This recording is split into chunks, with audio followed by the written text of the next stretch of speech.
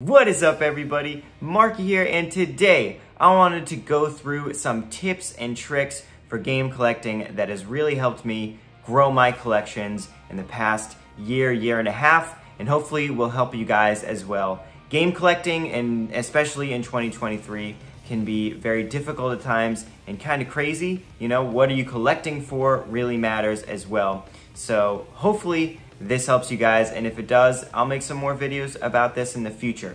So I'd say the first thing and the biggest thing, especially if you're collecting for modern consoles, the biggest thing that's really helped me is use social media to your advantage. Now, I know a lot of people may love social media, may not love social media, but it's really helped me grow my collection and save a lot of money, especially in the past year, two years when I started doing this. So what I do and what I recommend other people doing is use your favorite uh, social media platform. In my case, it is X or Twitter. And follow accounts that post about gaming sales, when games going on sales, when amiibo are dropping, or when just when different things that interest you in terms of game collecting, you know, drop in price, go on sale, are back in stock. Uh, super, super important for me and how I've been able to grow my collection. Um, one thing that I definitely recommend is when you're buying games, especially new games, make sure that you buy games that you actually are going to play. Um, and don't really look for the monetary value, something that will grow in value over time. Uh, the biggest thing for me is I want to play the games that I'm collecting and buying eventually, add them to my backlog. Uh, this is not coming from a perspective of somebody who's hoping to resell uh, the games eventually. So these are all tips and tricks on how to save money really and not reselling at all. So, um, but definitely there are so many uh, Twitter accounts or X accounts that you can follow. Uh, one, for example, I use is Wario64. He posts daily, you know, a lot of tweets on different video game and collecting items that will either go on sale or is out. He'll uh, you know, tweet out when a, a, console, a special edition console or a special edition item goes on sale so you can be like one of the first people to get there and um, and buy it because you know especially special edition items they go out of stock super quickly. So, like I said, use social media to, to your advantage and follow accounts that will let you know when things are in stock, when they go on sale, uh, things of that nature, or, you know, when Amiibo is back up. And this will really help you save money, right, when things are going on sale, and also collect things that you really want. For example, um, I was able to get, you know, the Pokemon uh, Switch, the OLED model, uh, as soon as it went on sale because I saw a tweet go out. I had my notifications on, and then they provide the link. So you just click on the link and you purchase the item that you want. Uh, so that's been really, really helpful for me, and hopefully it might be helpful for you. And one of my biggest tips for sure. Um, another tip that I have is definitely use your location to your advantage. And when I say that, that means that some people might have video game, retro game stores around your location. Uh, if you're looking for older games, I definitely recommend going to retro game stores and getting a feel for that kind of thing because those can be a great place to build your collection. Uh, ordering online is great and has its advantages, but there's nothing like actually going to a store and looking at the item and saying, oh, this is in good condition. This has the manual, this has the disc, the cartridge, and um, you know, this is something that I would like to purchase because you're actually viewing it in your hands. Like make sure you, you know, take a look at it yourself. And, and so use your location for your advantage. Go on Google Maps or, uh, you know, Apple Maps and find uh, retro game stores in your location. Go and, and um, check out games it's also a good way to see, you know, what games you would actually like to get, um, retro games that you would actually like to get, and some that um, you didn't even know about. Um, so that that's something that I recommend. But I also recommend that if you can't, if you don't have a retro store game around you and you need to, you know, use the online, I found that honestly eBay is the best thing to do when building and collecting older games.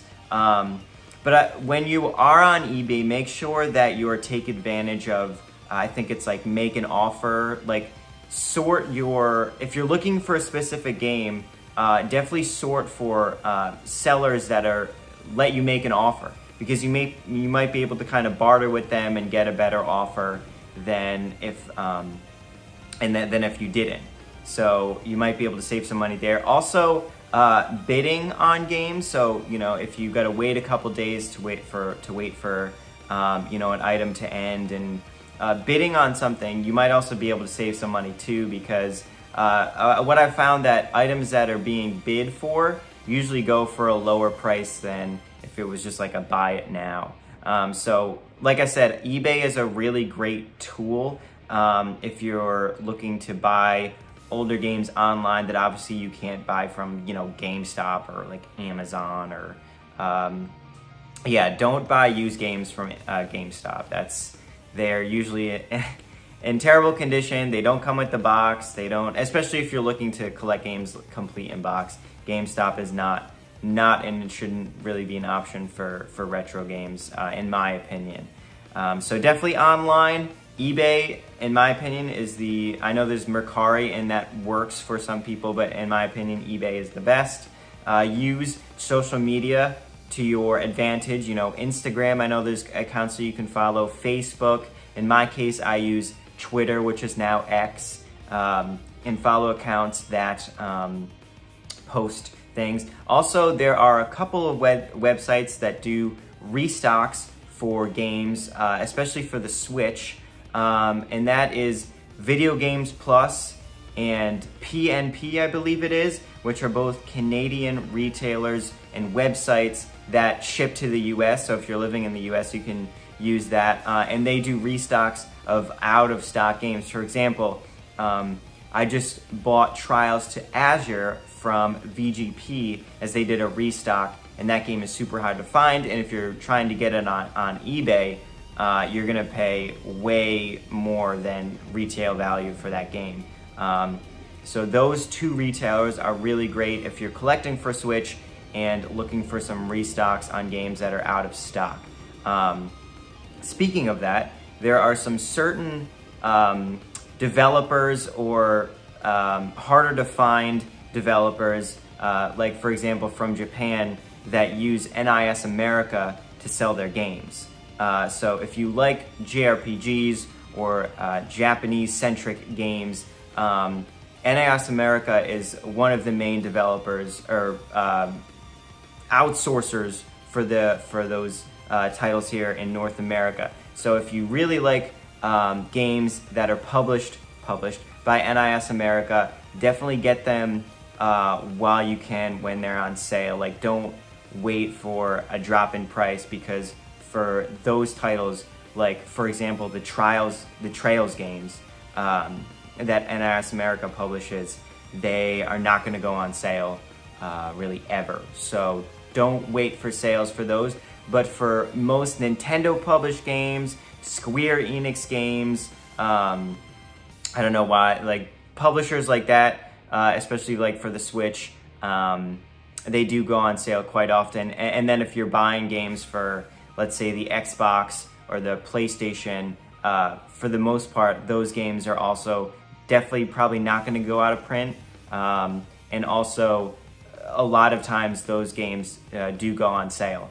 Um, so Xbox and PlayStation um, users and collectors um, those games are definitely going to go in on sale more often and be cheaper than say Switch titles, uh, which uh, go on sale less, especially Nintendo published games. Uh, but again, using those resources on social media to let you know when a game goes on sale um, is really helpful and can save you some money for sure.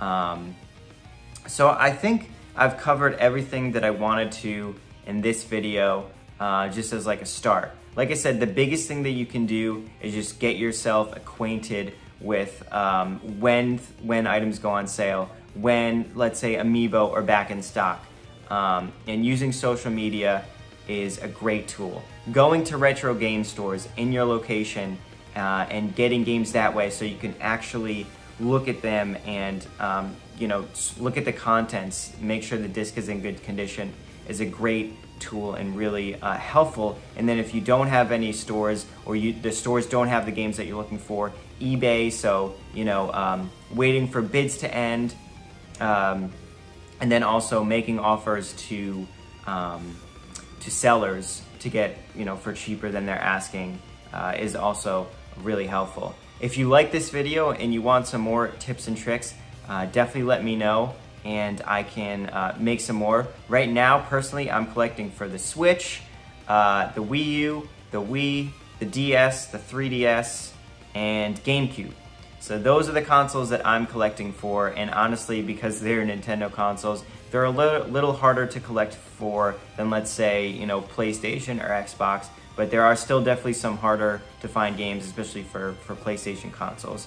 Um, a great tool, I guess, last tip, great tool is price charting. It's a, um, it's a website that prices games. So if you look up the game on the website, it'll show you the prices. So, you know, whether it's complete in box or just the disc or the cartridge, uh, or it's new, it'll show, it'll give you the full price uh, for everything. So you know going into whatever you're purchasing that you're getting the, you know, market value uh, of what, whatever it is. So um, definitely look it up. I think it's, if you, if you can Google, uh, you know, game pricing, prices charting, uh, the website will come up. And then I definitely recommend bookmarking that website and saving it, especially if you're going to like uh, a video game store or even a convention. A convention is a great way to look for uh, retro games or hard to, harder to find games. Um, using that tool is really great so you know you're not getting uh, ripped off. So I hope this was helpful for you guys. If it was, uh, I'll make more. And um, yeah, I hope you have a great rest of your day and I'll see you guys on the next video. Have a good one, guys. Peace.